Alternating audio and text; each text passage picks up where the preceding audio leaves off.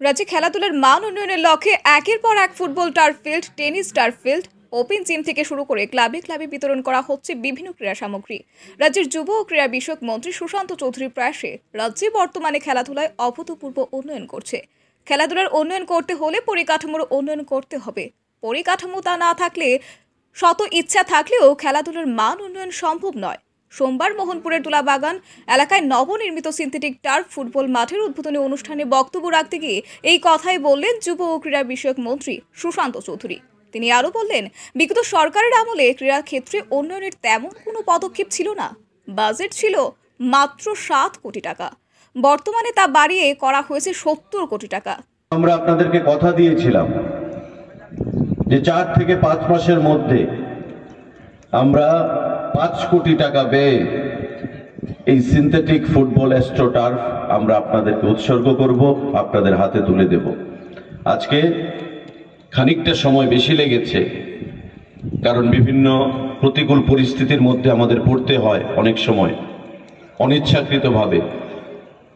কিন্তু দু মাস দেরিতে হলেও আমরা আজকে এই মাঠের শুভ সূচনা করলাম। বা করব এবং আপনাদের এই এলাকার জনগণের উদ্দেশ্যে, আমার যুবক ভাইদের উদ্দেশ্যে এই মাঠকে আমরা উৎসর্গ করব। যাতে করে খেলাধুলার মাধ্যমে শারীরিক, মানসিক এবং ব্যক্তি জীবনে তার বিকাশ ঘটিয়ে আগামী দিনে একটা সুনাগরিক হিসাবে সে প্রতিষ্ঠিত হতে পারে। রাজ্য সরকারের যে উদ্দেশ্য, নেশার বিরুদ্ধে যুদ্ধ ঘোষণা করা, নিজেকে প্রতিষ্ঠিত করা সেই নেশার বিরুদ্ধে যুদ্ধ ঘোষণায় একটা অঙ্গীকার এবং একটা অগ্রণী ভূমিকা এই মাঠ নেবে এই এলাকার মধ্যে, সেটা আমরা বিশ্বাস করি। সোমবার ফুটবল টার্ফ ফিল্ডের উদ্বোধক হিসেবে উপস্থিত ছিলেন মন্ত্রী রতনলাল নাথ। তিনি বলেন, তিনি বললেন, তুলাকোনায় যে টার্ফ ফিল্ডটি তৈরি করা হয়েছে, তার জন্য ব্যয় হয়েছে পাঁচ কোটি টাকা। আর এই মাঠের রক্ষণাবেক্ষণ করতে হবে তুলাকোনাবাসীদের। তিনি বললেন, আগামী দিনে জনজাতি এলাকাতেও গড়ে তোলা হবে এই ফুটবল টার্ফ ফিল্ড। পাশাপাশি এদিন মোহনপুরের পঞ্চাশটিরও বেশি ক্লাবের মধ্যে এগারোটি আইটেমের ক্রীড়া সামগ্রী তুলে দেওয়া হয়েছে, যা বিগত দিনে রাজ্যে দেখা যায়নি। সারা রাজ্যে সার্বিক ও যে বলছে, সবকা সাথ, সবকা বিকাশ।